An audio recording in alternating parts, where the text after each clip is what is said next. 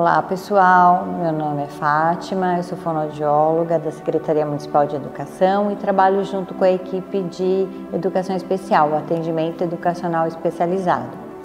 E vim aqui conversar com vocês hoje sobre um dos aspectos que acaba influenciando né, o atraso no desenvolvimento da fala e da linguagem, a importância da audição.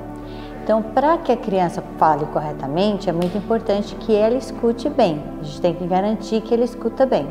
Então, às vezes, a criança não está escutando bem porque tem alguma infecção no ouvido, uma otite, que a gente chama, né? Pode ser essa infecção que a gente chama de otite silenciosa, que a criança nem manifesta, não tem, nem tem febre, se sente bem, só que ela não, não escuta 100%. Então, às vezes, a criança escuta uma palavrinha e ela não consegue diferenciar de outra, porque tem palavras na nossa língua que são muito parecidas. Por exemplo, a palavra chato e a palavra jato. E aí ela pode escutar chato e chato e não escutar essa diferençazinha, né? E isso acaba influenciando no desenvolvimento dela. É, é, também ela pode ter um problema de audição por conta de uma rolha de cera, né? Então a gente orienta os pais a não usarem o cotonete, porque o cotonete empurra para dentro a cera e a criança é, começa a não escutar direito. Se vocês pegarem na caixinha do cotonete, está escrito não deve ser introduzido no ouvido, mas o que as pessoas falam?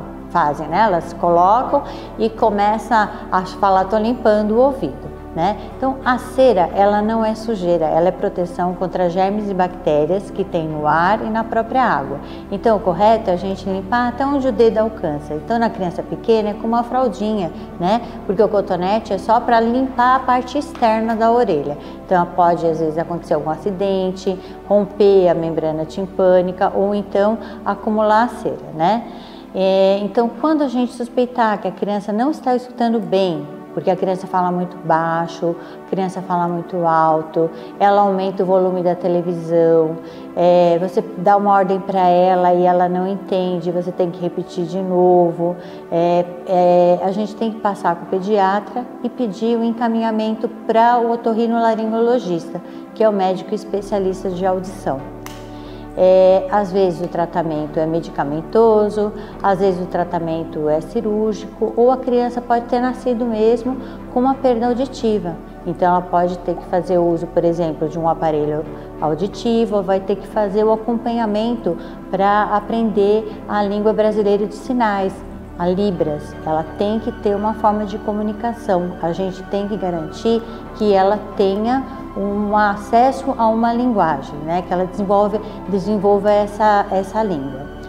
É, e assim, a gente tem que estar bem atento e não deixar, né? Às vezes a mãe leva no médico e fala, não, mas é, é assim mesmo, cada criança tem o seu tempo.